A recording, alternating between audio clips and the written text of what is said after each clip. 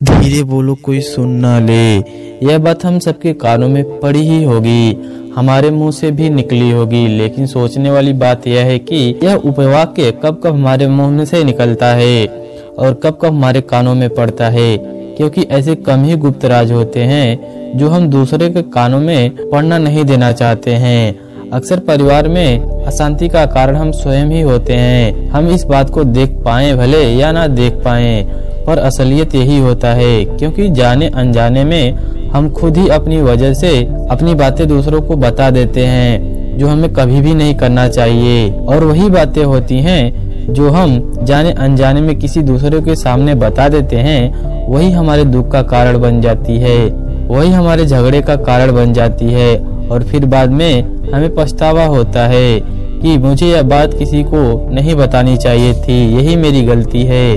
मैंने जाने अनजाने में उसको बता दिया। आज की जो मैं आप लोगों को बुद्ध कहानी सुनाने वाला हूँ, उसे सुनने के बाद आपको सात ऐसी बातें पता चलेगी जो आपको कभी किसी को नहीं बताना चाहिए, या जो सात बातें हैं जो आपको किसी को नहीं बतानी चाहिए। क्यों नहीं बतानी चाहिए? इसके पीछे का भी तर्क मैं आपको बताऊँगा। और इन सात बातों के अलावा, अगर आपको लगता है कि कोई बात ऐसी है जो मुझसे छूट गई है, या मैं नहीं बता पाया तो कमेंट सेक्शन में ज़रूर बताइए।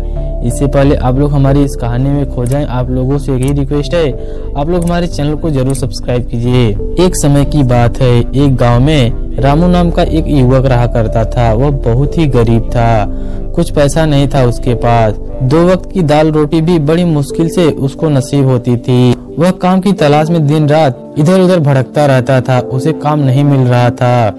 फिर उसने अपनी पत्नी के सामने अपनी सारी समस्या बता दी। उसने अपनी पत्नी को कहा कि मैं जिस जगह भी काम मांगने के लिए जाता हूँ तो हर कोई मुझे यह कहकर वहाँ से भगा देता है कि मेरे पास काम नहीं है, मेरे यहाँ काम की ज़रूरत नहीं है।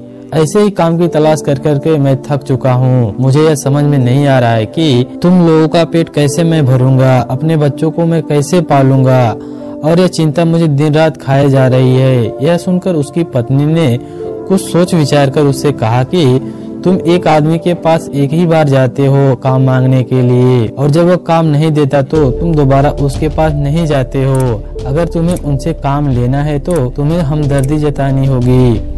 तुम्हें उनसे हमदर्दी हासिल करनी होगी। अपनी गरीबी दिखानी पड़ेगी उन लोगों को, ताकि वह लोग तुम्हारी मजबूरी समझकर तुम्हें काम पर रख लें। इसलिए शर्म मत करो, उन्हें अपनी मजबूरी बताओ, अपनी गरीबी बताओ, और इन्हीं उपायों की वजह से तुम काम पा सकोगे। यह बात रामू के मस्तिष्क में बैठ गई, और अगले दिन काम मांगने के लिए वह उसी सेठ के पास जा पहुँचा, जहाँ पर वो पिछले दिन काम मांगने के लिए गया था। लेकिन इस बार उसने हाथ जोड़कर उस सेठ से प्रार्थना की उससे विनती की वो बहुत ही गरीब है, उसे काम की सख्त ज़रूरत है, जो कुछ भी उसे देंगे, उसमें वह संतुष्ट रहेगा। कृपया करके मुझे अपने काम पर ज़रूर रख लें। उसकी यह हालत देखकर उस सेठ ने उसे अपने काम पर रख लिया। वह रोज वहाँ पर काम पर जाने लगा। अंदर ही अंदर वो बहुत ही कुछ सोचता था कि उसे काम तो मिला, लेकिन उसे वेतन दूसरों लोगों से कम मिलता है। वही काम तो दूसरे लोग भी कर रहे थे, लेकिन उन्हें वेतन ज़्यादा मिल रहा था और उसे वेतन कम मिल रहा था। जब इस बारे में उसने अपने सेठ से कहा तो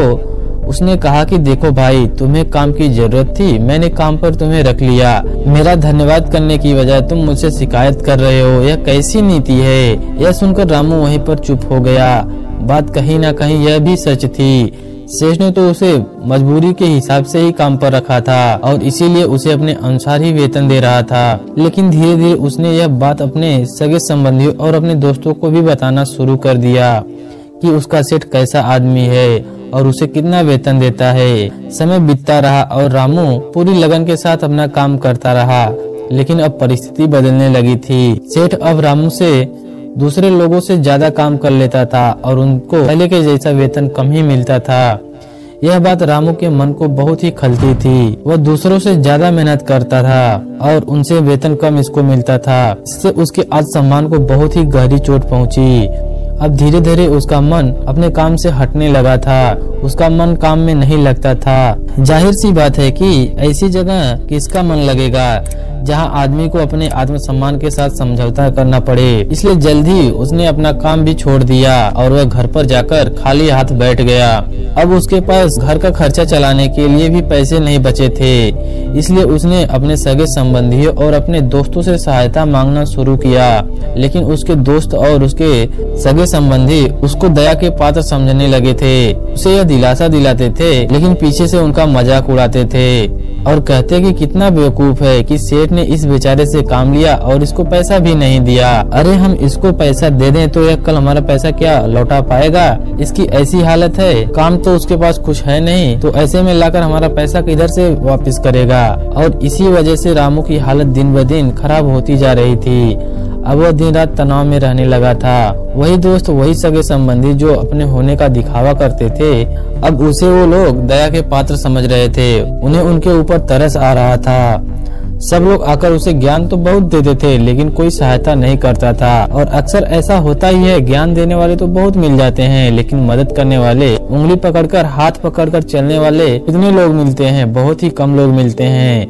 एक दिन उसे यह पता चलता है कि पड़ोस के गाँव में एक बौद्ध भिक्षु आए हुए हैं, जो बहुत ही ज्ञानी हैं। रामू इतना तनाव में था कि उसे कोई रास्ता नज़र नहीं आ रहा था, इसलिए जाने अनजाने में वह बौद्ध भिक्षु के पास जा पहुँचा। वहाँ पहुंचकर सीधे उनके पैरों में गिरकर रोने लगा। वह रोते रोते उनसे अपनी सारी परिस्थितियाँ बताने लगा और उन्हें परिस्थितियाँ बताते हुए कहता है कि किस तरह से उसके सेठ ने उसका फ़ायदा उठाया। और उसके सगे संबंधी उसके साथ कैसा व्यवहार रखते हैं। सारी बातें सुनकर बुद्ध ने उसे चुप कराया और कहा, भंते यह सारी समस्याएँ तुम्हारी बुद्धिहीनता, तुम्हारी मूर्खता के कारण उत्पन्न हुई है। अगर तुम्हारे अंदर विवेक होता तो इनमें से एक भी समस्या तुम्हारी चित्त को दुखी नहीं कर सकती थी। लेकिन तुमने अपने अविवेक के कारण, अपनी मूर्खता के कारण, खुद ही अपने रास्ते में कांटे बिछा दिए। आज मैं तुम्हें सात बातें बताऊँगा, जो भूलकर भी किसी को मत बताना। और तुम इन बातों का अनुसरण करते हुए बाहर से मिलने वाले दुखों को दूर कर सकोगे, जो बेवजह तुम्हारे पास दुनिया की वजह से तुम्हारे पास आकर पनपते हैं। पहली बात जो किसी को नहीं बतानी चाहिए वह है अपनी मजबूरी। अपनी मजबूरी का दिखावा करके दूसरों का दया पात्र बनकर उनकी सहायता लेने की गलती कभी नहीं करना चाहिए। हो सकता है कि आज वह तुम्हारी मजबूरी देखकर तुम्हारी सहायता कर दें, लेकिन कल वह तुम्हारा फ़ायदा उठाने से भी नहीं चुकेंगे।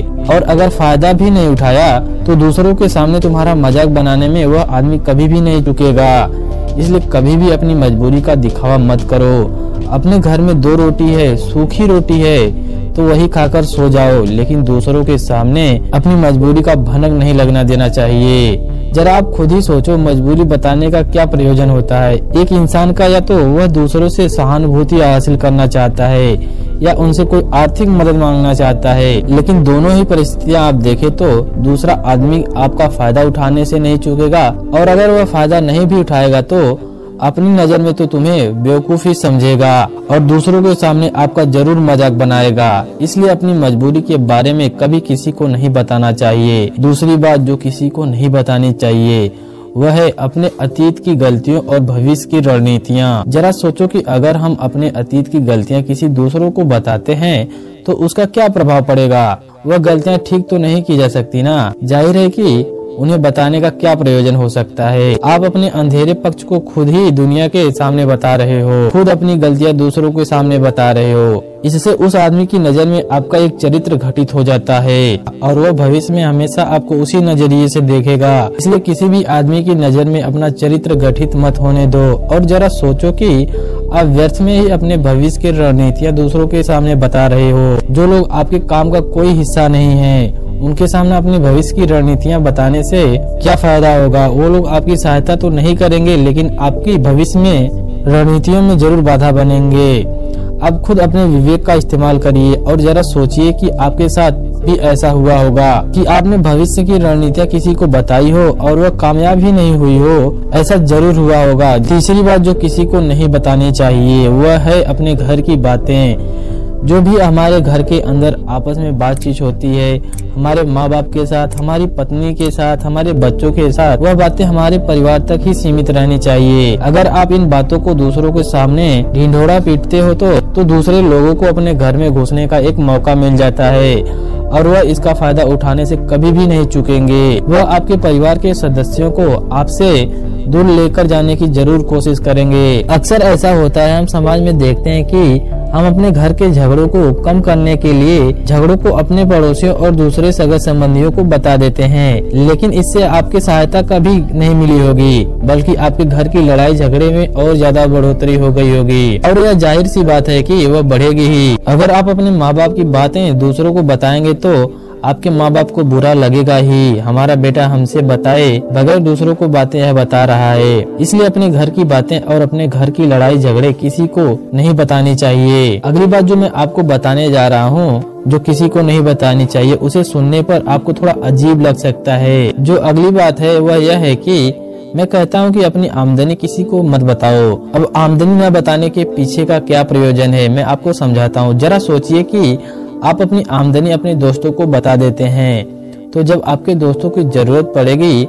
तो वह सिर्फ़ आपको ही याद करेंगे, क्योंकि उनको पता है कि अगर आपके पास आमदनी ज़्यादा है तो आप ही उनका मदद कर सकते हैं, और इसलिए ज़्यादा लोग आपसे सहायता मांगेंगे। और जब आप उनकी सहायता नहीं करेंगे तो वह सोचेंगे कि इस आदमी के पास पैसे तो हैं, पर मेरी सहायता नहीं करना चाहता है। और इसीलिए आपकी आमदनी आप दोनों दोस्तों के बीच एक झगड़े का कारण बन सकती है। अगर कम आमदनी होगी तो लोग मज़ाक उड़ाएँगे, और ज़्यादा होगी तो सहायता मांगेंगे। तो अपनी आमदनी बताने का कोई भी प्रयोजन नहीं है। अगली बात जो मैं आपको बताने वाला हूँ, उसे अपनी गांठ बाँध लेना और किसी को यह बात मत बताना, अपनी कमजोरियाँ और ताकत।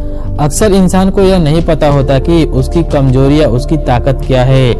लेकिन अगर आपको अपनी कमज़ोरी और ताकत पता है तो पहली बात, आप तो बहुत ही बुद्धिमान व्यक्ति हैं। और दूसरी बात यह है कि आपको यह बातें किसी को नहीं बतानी चाहिए, क्योंकि अगर आपकी कमजोरियाँ दूसरे को पता चल जाएगी तो वो आपकी कमजोरियों का फ़ायदा उठाएगा। और अगर आपकी ताकत पता चल गई तो वही ताकत आपकी कमज़ोरी भी बन जाएगी, क्योंकि वह ताकत दूसरे आदमी को पता है और वह ताकत की कार्ड ज़रूर ढूंढ लेगा। अपनी कमज़ोरी और अपनी ताकत अपनी पत्नी या अपने पति को भी नहीं बतानी चाहिए, क्योंकि इसके बाद आपको घर में हमेशा दबकर रहना पड़ेगा। अगली बात जो मैं आपको बताने जा रहा हूँ, वह अपने मित्र और शत्रु के ऊपर है। अगर आप अपने मित्रों के बारे में दूसरे लोगों को बताएँगे तो वह आपके मित्रों के साथ अपनी घनिष्ठता बनाकर आपको धोखा दिलवा सकते हैं। आपके घरे मित्रों को आपसे दूर करने का प्रयास कर सकते हैं। अक्सर आम आदमी ऐसा नहीं करता। लेकिन आपके दुश्मन ऐसा करने की कोशिश कर सकते हैं। और दूसरी तरफ़, आपके शत्रु का भी किसी को पता नहीं लगना चाहिए, क्योंकि आज जो आपका मित्र है, अगर कल वह आपका दुश्मन हो गया तो वह आपके दुश्मन के साथ ही मिलकर आपको परास्त कर सकता है, आपको धोखा दे सकता है। अपने सबसे अच्छे दोस्तों को भी अपने दुश्मन के बारे में कभी नहीं बताना चाहिए। अगली और आखिरी बात कहना चाहता हूँ कि जब दान करते हो तो दान के बारे में किसी को मत बताना। नहीं तो दान करना व्यर्थ हो जाता है, बेकार हो जाता है। जब आप अपने दान का ढिंडोरा पीटते हो तो आप यह बता रहे हो कि मैं कितना बड़ा दानी पुरुष हूँ और यह आपके अंदर एक अहंकार निर्मित करेगा। इसलिए दान गुप्त रूप से किया कीजिए। उतना ही अच्छा होगा, उतना ही फलदायी होगा। जब आपका बायां हाथ दान कर रहा हो तो दाएँ हाथ को भनक भी नहीं लगनी चाहिए कि बायां हाथ दान कर रहा है। यह सात बातें जो बौद्ध भिक्षु ने रामू को बताई, इनमें संसार के सभी सिद्धांत छुपे हुए हैं। आप इन बातों का अनुसरण करते हुए आप अपने घर में सुख शांति बना सकते हैं और घर के झगड़े हमेशा के लिए दूर कर सकते हैं। आप इन बातों के बारे में अपने विवेक से सोचें तो आपको यह बातें ज़रूर सच मालूम पड़ेंगी। और आपको हमारी कहानी सुनाने का मकसद भी यही है कि आपका विवेक जागृत हो। आप खुद उन बातों के बारे में सोचें। जो हम आपको बता रहे हैं। आपको हमारे द्वारा सुनाई गई ये कहानी कैसी लगी, कमेंट सेक्शन में ज़रूर बताइए। ऐसी ही और कहानी सुनने के लिए हमारे चैनल को ज़रूर सब्सक्राइब कीजिए।